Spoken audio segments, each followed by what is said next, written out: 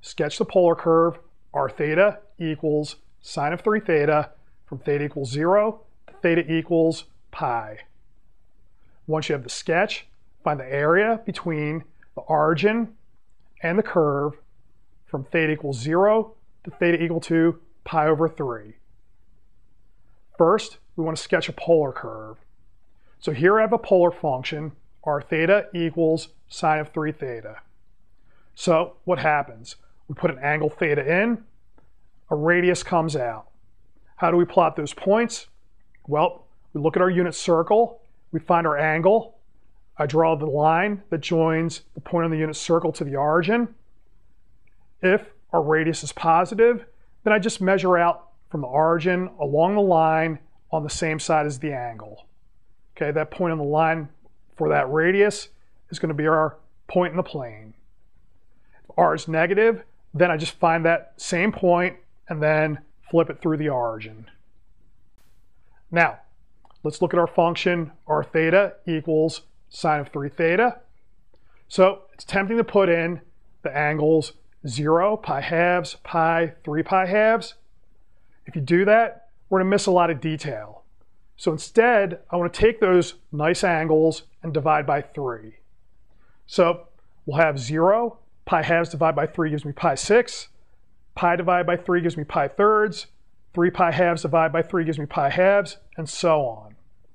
What this guarantees is, when we take these angles, multiply by 3, we're going to be putting the good angles into sine. So you'll note what comes out are all going to be these 0, 1s, and minus 1s which are nice. Now, if we want more detail, then we have to pick some angles that fit in between these angles. So let's try multiples of pi fourths. So we'll take them, divide by 3, and then they'll give us some more points to connect the dots with. So for instance, take pi fourths, divide by 3, gives me square root 2 over 2, and I get a 0.7.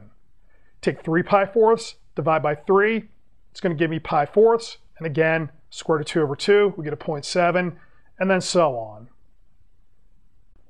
Now we plot those points. So we'll only do a few just to get an idea of what's happening. So first point up, 0 comma 0. So if I go angle 0, radius is 0 puts me at the origin. Next angle up is pi 12 with a radius of 0.7. So we find our pi 12s, go out by 0.7, that's that point there. Okay, the circle is the unit circle. And I know the entire curve is going to live inside the unit circle because sine is always between minus 1 and 1. So our radius, always between minus 1 and 1.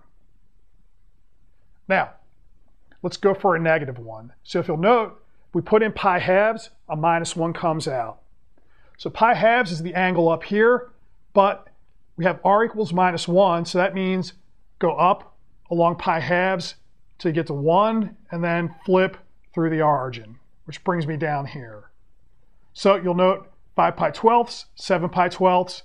These are also going to be angles that are up here, but because we have negative radii coming out, okay, negative values of the function, we're going to have our points down below the x-axis. Okay, so now plot enough of these points, connect the dots, you're going to get the rose with three petals.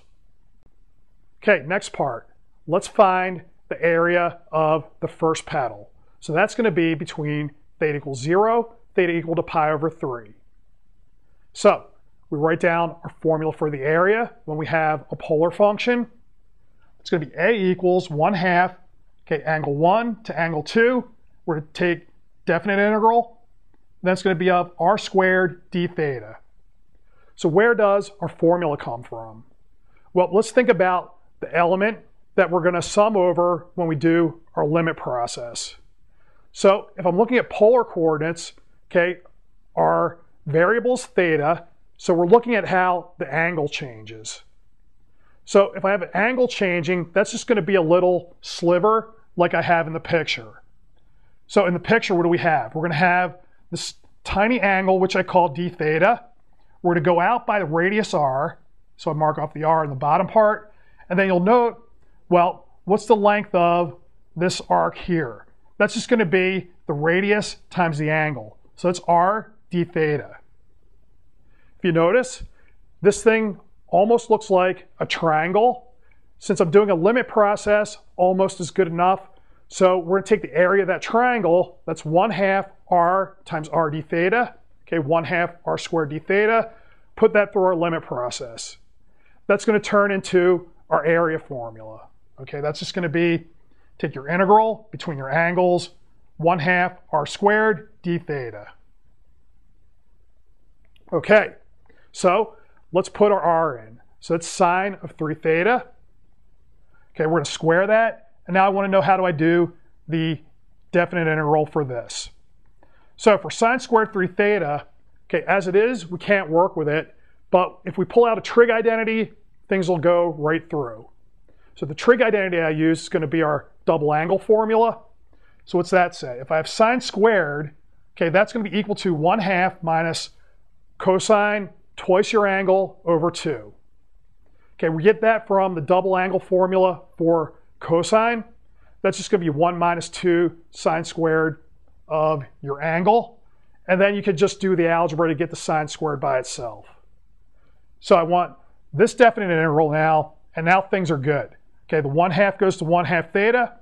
Cosine of 6 theta, antiderivative is sine, and then I divide by the 6. So that gives me 1 12th sine of 6 theta. We put in our pi thirds and our 0.